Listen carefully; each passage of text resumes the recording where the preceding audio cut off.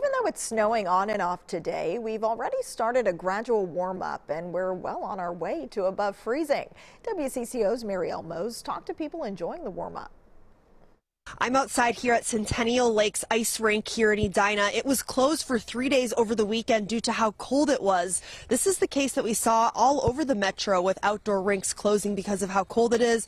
But because we're in this warm up period, we're already starting to see people coming outside and enjoying these much more pleasant temperatures. This morning we went to Minnewashta Regional Park in Carver County where we found a lot of people outside walking their dogs despite it being heavily snowing outside.